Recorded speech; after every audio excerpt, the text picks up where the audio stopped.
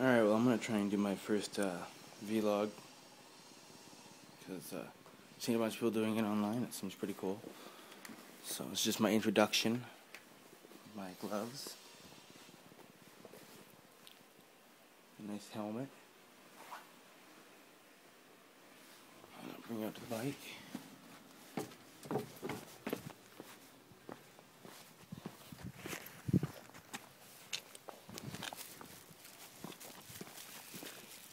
I had to do this one because David Howell said he had the ugliest bike for video vlogging, or for uh, moto vlogging.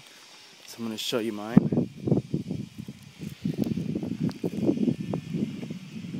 Just recently redid the seat, repainted it.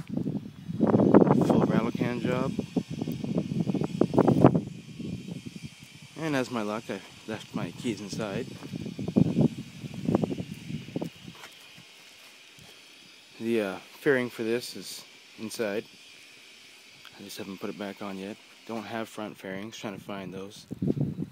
Hell in a handbasket trying to find. And that's uh, my bike. And yes, that is the uh, fuses hanging outside of it. And my signal lights held on by zap straps. My snake nest of wiring back here. My before I bought it modified exhaust.